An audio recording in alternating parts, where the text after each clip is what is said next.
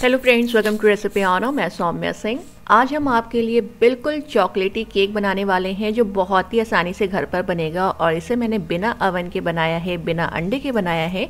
तो चलिए इस केक को बनाना शुरू करते हैं। सबसे पहले हमें कढ़ाई को गर्म करना होगा। आप चाहें तो इस केक को भगोने, कुकर या अवन में भी बेक कर सकते हैं। तो कढ़ाई को हम पाँच से दस मिनट गर्म करेंगे। इसी के साथ मैंने एक केक टिन लिया है। ये छः इंच का केक टिन है और इसमें हमें सबसे पहले रिफाइंड ऑयल लगाना है। आप चाहें तो मैदे की डस्टिंग कर सकते हैं या बटर पेपर का भी यूज़ कर सकते हैं। केक का बैटर बनाने के लिए सबसे पहले मैंने यहाँ एक छन्नी ली है और इसमें हम एक कप मैदा डाल रहे हैं। यहाँ जो मैदा है, ये 120 ग्राम है। इसी के साथ इसमें हम कोको पाउडर डालेंगे क्योंकि हम चॉकलेट केक बना रहे हैं। तो लगभग पाँच बड़े चम्मच हम कोको पाउडर डाल रहे हैं। एक चम्मच बेकिंग पाउडर एक चम्मच बेकिंग सोडा इन सभी चीज़ों को छानकर बाउल में डालेंगे। अब इसमें हम आधा कप पिसी हुई चीनी डाल रहे हैं और ये ग्राम में 80 ग्राम यानी 80 ग्राम है तो इन सभी चीज़ों को एक बार फिर से अच्छे से मिक्स कर लेते हैं।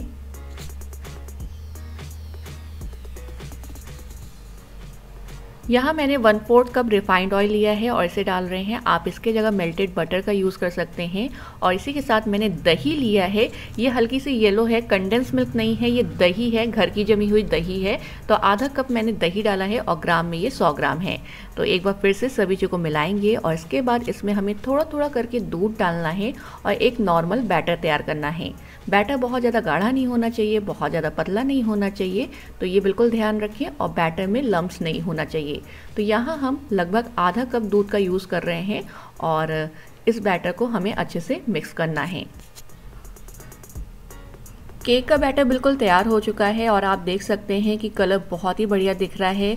बिल्कुल भी लम्स नहीं है, बहुत ज़्यादा गाढ़ा नहीं है। तो कुछ इसी तरह का हमें बैटर चाहिए। तो सबसे पहले इसे हम केक टिन में डाल देते हैं। अगर आपके पास केक टिन नहीं है तो आप घर का जो नॉर्मल भगोना होता है, उसे भी यूज़ कर सकते हैं। इसे टैप कर देते हैं। तो अब इसे हम कढ़ाई में रख देते हैं। तो यहाँ जो कढ़ाई है, ये बहुत ही अच्छे से गर्म हो गई है। स्टैंड के ऊपर हम केक टिन रखेंगे और इसे ढककर मीडियम फ्लेम पर लगभग बेक करना है। 35 से 40 मिनट लगेगा तो इसे ढक देते हैं। लगभग 40 मिनट हो चुका है और यहाँ जो एगलेस चॉकलेट केक है, ये अच्छे से बेक हो चुका है। तो इस केक को हमें अच्छे से ठंडा करना है और इसके बाद इसके ऊपर हम चॉकलेट से आइसिंग करेंगे।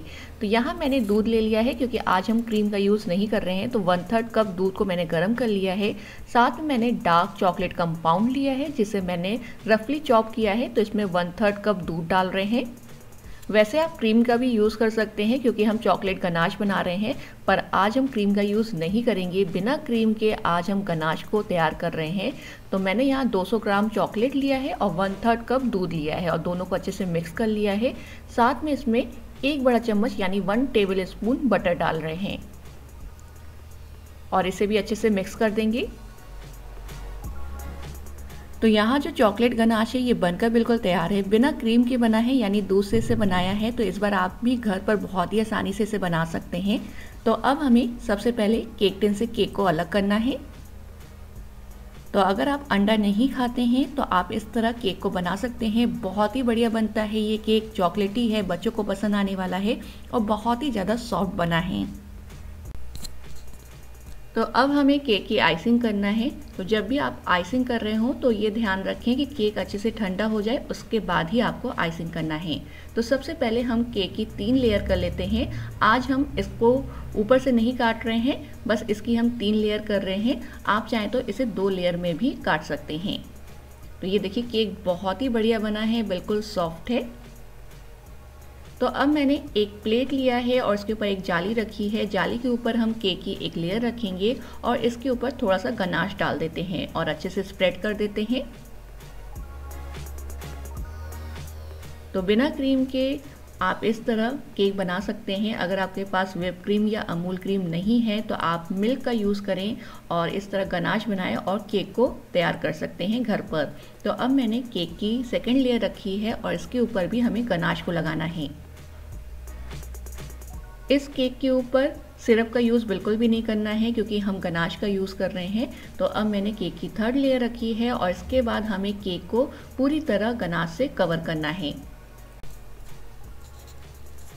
यहाँ जो एक्स्ट्रा चॉकलेट है, यानी चॉकलेट गनाश है, ये प्लेट में आ जाएगा, जिसे आप बाद में यूज़ कर सकते हैं। तो नीचे आप प्लेट रखिएगा, जाली के ऊपर केक रखिएगा और उसके बाद इसे गनाश से कवर करिएगा।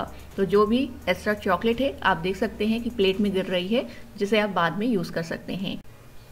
तो अब आप केक को किसी भी तरह डेकोरेट कर सकते हैं, इसके ऊपर कलरफुल बॉस डाल सकते हैं स्प्रिंकल डाल सकते हैं।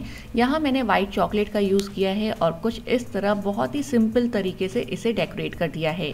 तो ये देखिए केक बहुत ही बढ़िया बना है। आप इसे आधे घंटे के लिए रख दें जिससे ये अच्छे से सेट हो जाए और उसके बाद इसे आप काट कर सर्व कर सकते हैं। बहुत ही ज़्यादा सॉफ्ट चॉकलेटी ये केक है। तो उम्मीद है कि आपको ये रेसिपी ज़रूर पसंद आई होगी और इस बार आप इसे घर पर बहुत ही आसानी से बनाने वाले हैं।